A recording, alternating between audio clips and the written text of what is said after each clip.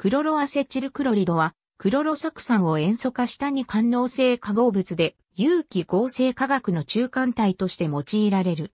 工業的には塩化メチレンのカルボニル化、1、1、ジクロロエチレンの酸化、または、ケテンの塩素化により製造される。クロロ酢酸、塩化チオニル、5塩化リン、またはホスゲンからも生成シュール。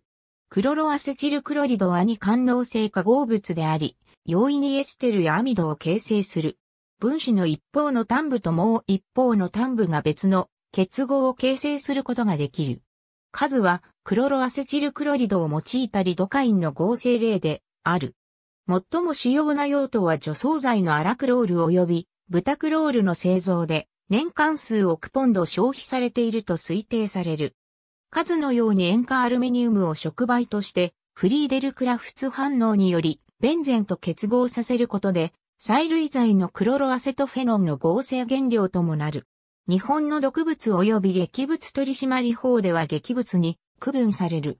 不燃性であるが加熱により分解し、ホスゲンや塩化水素など有害なガスを生じる。目に対して強い刺激性があり、皮膚の接触、吸入により、気道に腐食性がある。ありがとうございます。